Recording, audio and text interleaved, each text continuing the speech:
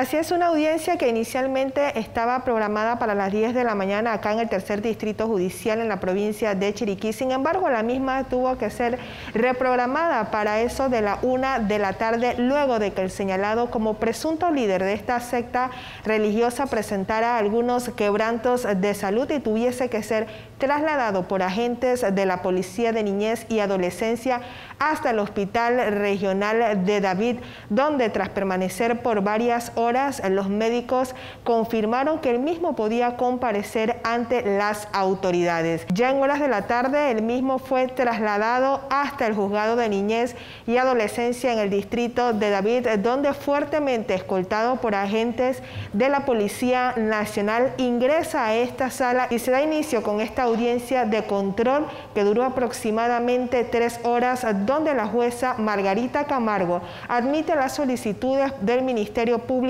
no solo en el tema de legalizar la aprehensión, sino también imputar los cargos por los delitos de abuso sexual, igualmente maltrato a menor. Y también se logró fijar una detención provisional por nueve meses mientras se realizan las investigaciones. Pero vamos a escuchar declaraciones por parte del fiscal de Niñez y Adolescencia, Johnny Torres, dándonos detalles hace pocos minutos de este acto de audiencia.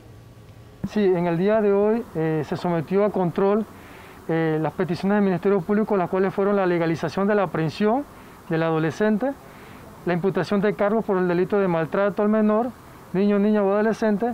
y por el delito de violación en perjuicio de unos menores de edad.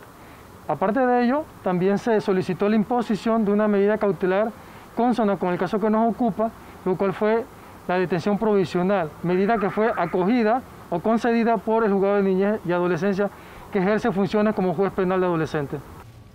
La Fiscalía permanecerá por los próximos tres meses en la comunidad de Llano Amador en el sector de Ñurún, comarca Nove Bulé, realizando diferentes eh, diligencias con el objetivo de recabar más indicios que puedan esclarecer si este adolescente de 18 años de edad es o no el líder de esta secta religiosa. Igualmente, las autoridades confirmaron que a pesar de que hace escasos cinco días cumplió la mayoría de edad, el mismo será procesado por la Fiscalía Fiscalía de Niñez y Adolescencia tras conocerse que los delitos los cometió cuando era menor de edad. Es la información que se registra a esta hora desde la provincia de Chiriquí. Regreso con usted a los estudios.